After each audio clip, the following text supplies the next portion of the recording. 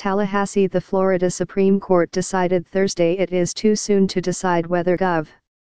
Rick Scott will be able to reshape the state's highest court on his last day in office. The ruling means there could be a constitutional crisis if Scott and his replacement both try to appoint replacements for three retiring justices.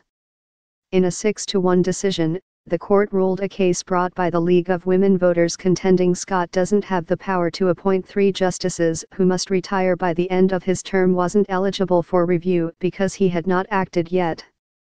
Until some action is taken by the governor, the matter the League seeks to have resolved is not ripe, and this court lacks jurisdiction, the ruling states.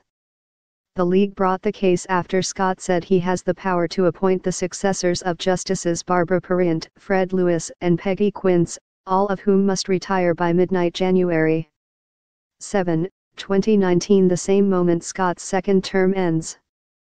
The state constitution requires justices to retire during the term they turn 70, and all three will be that age by then. Pariente, Lewis, and Quince make up three votes of the liberal 4 to 3 majority on the court, so the decision of who gets to appoint their replacements could determine the balance of the court for years to come. Scott has been eager to appoint conservative justices averse to what he calls legislating from the bench. Scott hailed the decision. I am pleased that the court upheld Florida law today and dismissed the challenge brought by these political organizations, Scott said in a released statement.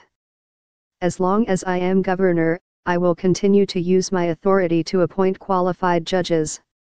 During oral arguments last month, an attorney for the league argued that if Scott and his successor, the winner of the 2018 gubernatorial election, both claimed the power to replace the justices, it could tip off a constitutional crisis.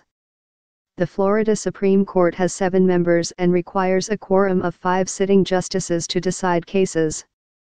If the outgoing and incoming governors picked different justices, who would decide which were legitimate?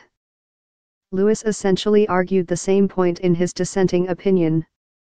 Contrary to Florida law and the general common law, the majority has now announced that the challenged conduct must have already produced a constitutional crisis and calamitous result before illegal acts of government officials are subject to quo warranto review or relief, Lewis wrote. Quince and Pariente agreed with the result of decision but issued a separate opinion stressing the court doesn't have to wait until Scott tries to appoint the justices to act. This is a breaking news story. Check back for updates. Giroir at orlandosentinel.com or 850-222-5564. Court denies Scott's call to remove Pariente from judicial appointments case. John Morgan recently revealed that he's left the Democratic Party and won't run as a Democrat for governor. John Morgan recently revealed that he's left the Democratic Party and won't run as a Democrat for governor. More than 100 proposals to change Florida's constitution are currently being vetted by the Constitution Revision Commission.